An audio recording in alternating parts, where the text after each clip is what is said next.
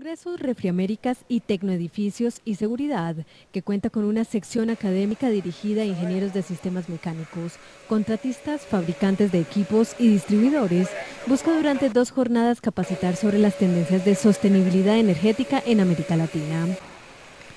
Panamá es la sede de estos congresos, en donde los estándares verdes, la certificación energética en equipos de ventilación y la gerencia de edificios en América Latina son los temas que una veintena de expertos abordan en estas dos convenciones paralelas aire acondicionado, abanicos industriales, ductos de ventilación, equipos de vigilancia y elementos eléctricos son los principales componentes ofertados en la feria.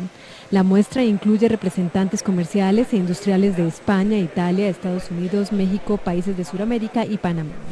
El evento es organizado por la compañía Latin Press en el centro de convenciones Atlapa de la capital panameña.